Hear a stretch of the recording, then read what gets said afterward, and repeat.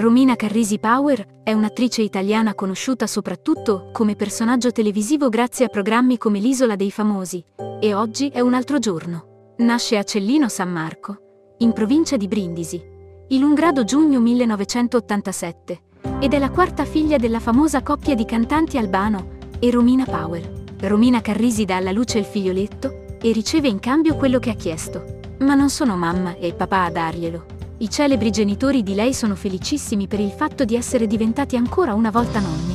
A 37 anni ora è toccato a lei vivere l'esperienza della gravidanza. Con questo viaggio giunto al termine, per lei ed il compagno Stefano Rastelli è tempo di gioire. Il nome del figlioletto di Romina Carrisi, si tratta di un maschietto, non rimarcherà in alcun modo quello dei nonni.